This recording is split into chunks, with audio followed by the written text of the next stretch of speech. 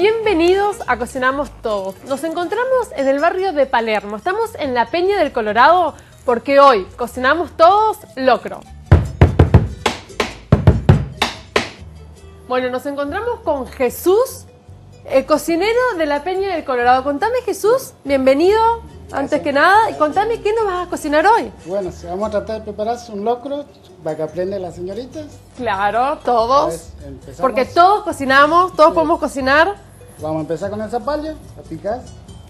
Zapallo, este zapallo que es difícil de cortar, ¿no? Sí, Porque es, verdad es- es bastante duro. Eh, Eh, lo cortás más, más bien eh, chico, estoy viendo. chicos, más o menos para que sea más rápido la, la cocción, pues, para que se cocine más rápido. Previamente ya tenemos, eh, de todas formas, el, Sí, la olla con agua hirviendo. sí, sí.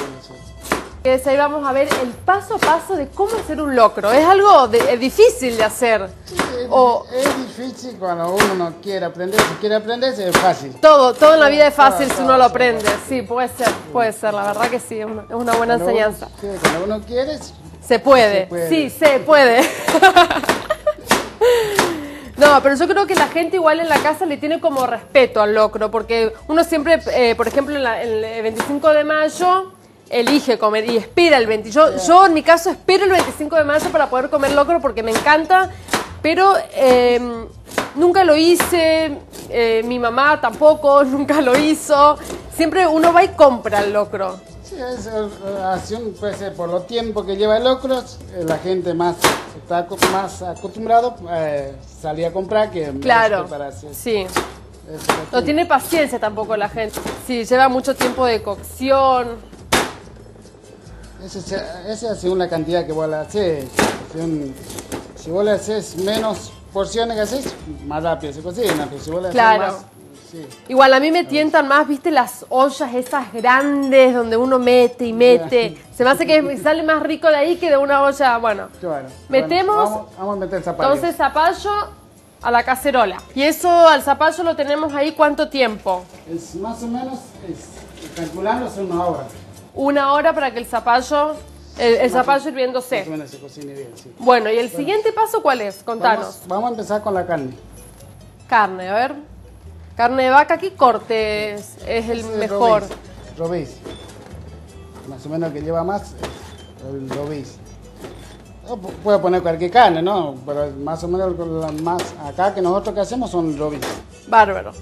Ponemos la carne, eh, carne de vaca. Carne Ahora vamos a empezar con la batata. batata, que también ya tenemos acá previo cortado en cubitos. Sí. Más o menos. Se va batata. Ahora vamos a esperar un ratito y ponemos ¿Cuánto tiempo hay que esperar para que se cocine ahí el zapallo con la batata y la carne? y más o menos poner en, en dos horas, supuestamente este en dos horas tiene que estar, por la cantidad que es. Si es, si es más, sí, más o menos te llevas Claro. cuatro o cinco horas. Depende la más. Depende de cantidad. la cantidad que vos le haces. Ok, bueno, entonces mientras eso se va cocinando, vamos Yo voy a poner la, la, la patita. patita. Me encanta. Eso le da un gustito también exquisito al, al locro. Bueno, ahora voy a empezar con los condimentos. Condimentos. ¿Qué tenemos? A ver. Provenzal, oréganos, ají molido, comino, sal, Sal gruesa. sal gruesa. Perfecto. Y dos cubitos de caldo de gallina. Caldo de gallina. Entonces vamos poniéndolo. Es bien, es bien condimentado el locro. Ponemos ahí provenzal. Echamos el orégano. Y eso es, eh, la- la- es al gusto del consumidor, Al- ¿no? Al, al gusto de, al gusto de la- lo que van a cocinar, más o menos vos tenés una, una opción que más o menos a esta cantidad tiene que llevarse. Más o menos Claro. el gusto va. después Bárbaro. Ponemos que es pimentón. Comino.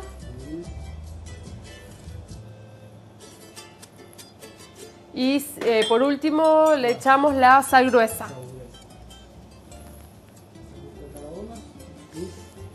El último le pongo dos cubitos de de gallina. A ver, te ayudo. Los cubitos.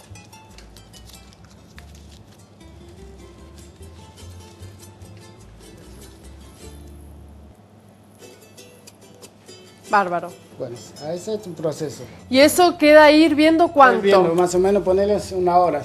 Una hora más. Bárbaro. Bueno, entonces ¿con qué seguimos? ¿Cortamos qué ahora? Vamos a cortar, el, preparar la panceta. Panceta, qué rico.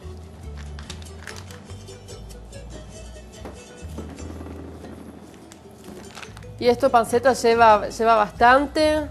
Sí, más o menos haciendo la, la, la, la forma, al gusto de cada uno. De cada uno. Si vos le pones, que me pones cantidad, pones cantidad. Viste que hay un, un montón de formas de, Sí, de sí, hacer un locro. Ahora sí. la, gente por ahí lo hace más sano, que se, se cuida bastante, entonces por ahí lo hacen más sano. A mí me- igual me gusta el locro de verdad, el locro bien argentino, el que se hace acá.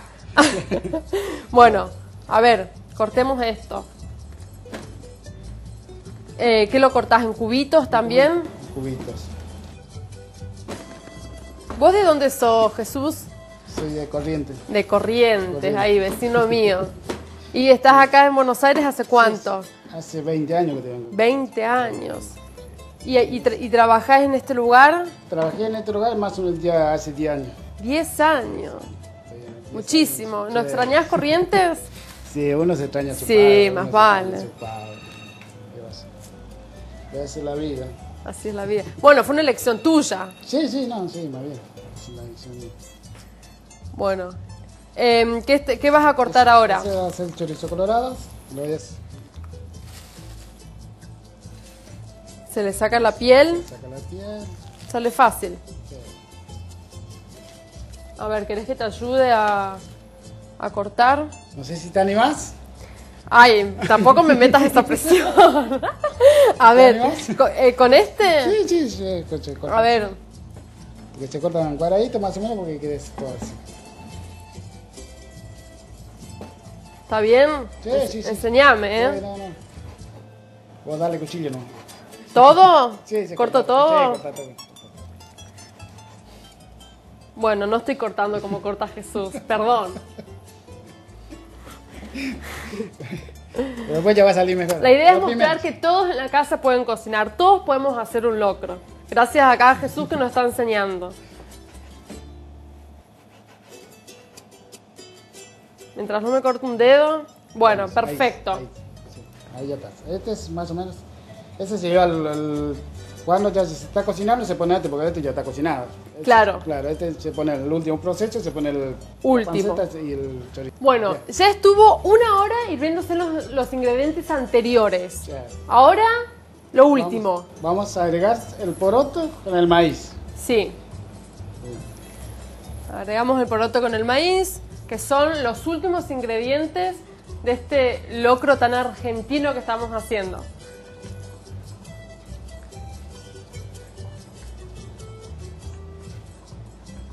Bueno, ahora Ahora ponemos el último retoque que le falta, le ponemos la panceta, y el chorizo colorado. colorado, que lo corté yo, así que va a estar buenísimo. Y después de, de estos últimos ingredientes, Jesús, ¿cuánto tiempo más de cocción tiene que tener? Esperamos más o menos 40, 45 minutos para que se cocine el poroto como el maíz. 45 minutos. Sí, más o menos. Acá ya tengo otro que ya está preparado. Este que va a salir, el que va a salir el mismo que ese, yo tengo este. El resultado. El resultado final es este. Este a Uy. ser el resultado. Bueno, entonces el único paso que queda ahora es probar este delicioso locro hecho por Jesús. Muchísimas gracias por No. habernos enseñado a enseñarle a la gente el paso a paso y decirle que se anime, ¿no? A hacerlo, que es fácil. No es, no es difícil. Es Que no es difícil. de, cuestión de ponerse y hacer. Y tener paciencia. Tener paciencia. Y mirar este programa una y otra vez. Si se lo perdió, lo puede ver en YouTube por Senado TV Arc. Así que, eh, bueno, hacerlo, animarse. Aprovecharla. Bueno, muchísimas gracias. Y Gracias. nosotros ahora vamos a probar el plato terminado. Nos encontramos con Eloy, que es parte de la Peña del Colorado. Muchas gracias por recibirnos y bienvenido. ¿Cómo le va, Florencia? Gracias a ustedes.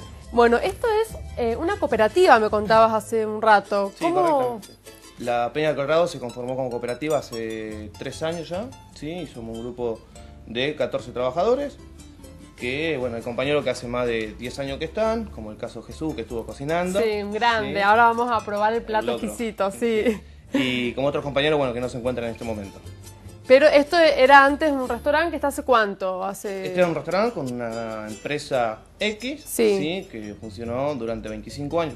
Lleva funcionando ya 25 años. ¿no? 25 años. Y eh, hace tres años, bueno, una crisis económica, la empresa decidió de cerrar el local y nosotros como los trabajadores nos hicimos cargo Perfecto. del establecimiento. Tienen un montón de cosas para hacer acá adentro. ¿Qué? Sí. Contame, hay talleres. Bien, te cuento las actividades que tenemos nosotros acá. Tenés, Sí. tenés talleres, hasta show en vivo, ¿sí?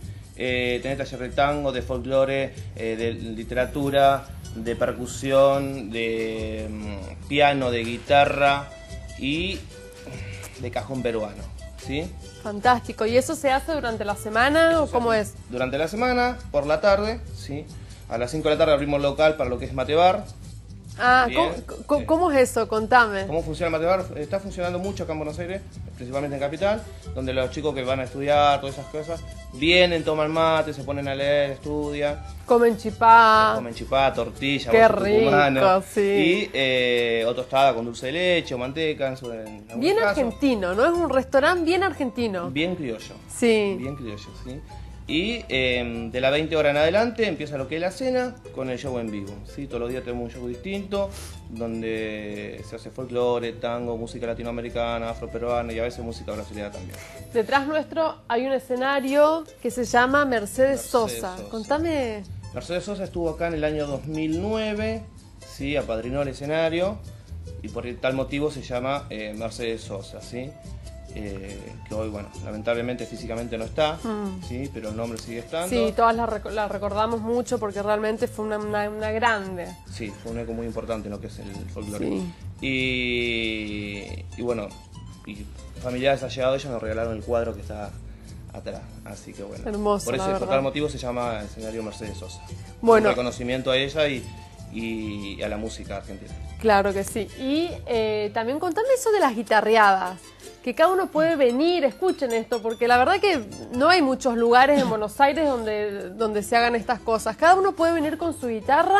La guitarreada empieza todos los días a partir de las 12 de la noche, eh, donde viene un público especial, ¿sí? digamos que bohemios, Sí. y, y se ponen a cantar guitarra. Algunos traen su guitarra y otros que no traen, nosotros les prestamos la Los que guitarra. no tienen, acá hay. Exactamente, nosotros les prestamos la guitarra, pueden jugar a las cartas, tenemos juego de mesa. eh, tratamos que no jueguen al truco, por- pero sí, hay juego de cartas, juego de mesa, todas esas cosas. ¿sí? Y la gente se divierte, eh, bailan, algunos toman mate, ya digo, otros cantan. Y, y así estamos a las 6 de la mañana. No, es, los fan- es fantástico, Bueno, Es un lugar muy realmente. familiar, Sí. un ambiente cálido, tranquilo. Y sobre todas las cosas, es un ambiente que representa lo que es el norte argentino, más que nada. Y viene mucha gente de las provincias, muchísima. La mayoría de la gente es de la provincia. De hecho, eh, muchos trabajadores de acá Sí, sí, son, provincianos. Tenés Sí. como eh, toda la, la Argentina acá adentro. Exactamente, exactamente. Hay un chico de, hay un compañero de cada pueblo. Sí. de cada provincia. Bueno, el locro está espectacular, quiero Tiene pinta- decirlo. tiene pinta, Tiene, está tiene bueno. pinta y, y lo probé y está muy rico. Hay que echarle un poquito picante. ¿Cómo es el picante? ¿Cómo se hace? Que eso Jesús no nos enseñó. Picante tiene, mira, eh, tiene la colita de la cebolla verdeo, ver, sí. y tiene chimichurri y aceite, ¿sí? Obviamente está concentrado, por eso hace que sea bien picante y sea un poco más fuerte. Bueno, es- y cebollita de verdeo. Cebollita de verdeo. Perfecto. Vamos a acompañar con un pancito casero, Sí. hecho acá en la casa, bien, y con un vino tinto Malbec Exquisito. que acompaña el Bueno, muchísimas gracias por habernos Por favor, gracias recibido. a ustedes por estar acá. Realmente eh, delicioso el plato. Eh, bueno, salud. Salud. Y nosotros nos encontramos la próxima con más Cocinamos Todos. Para cocinar locro se necesitan los siguientes ingredientes. Un zapallo, 2 kilos de carne vacuna, 4 patitas de cerdo, medio kilo de batata, panceta, un chorizo colorado, 2 tazas de maíz, una taza de poroto, provenzal, orégano, ají molido, comino, sal y caldo de gallina.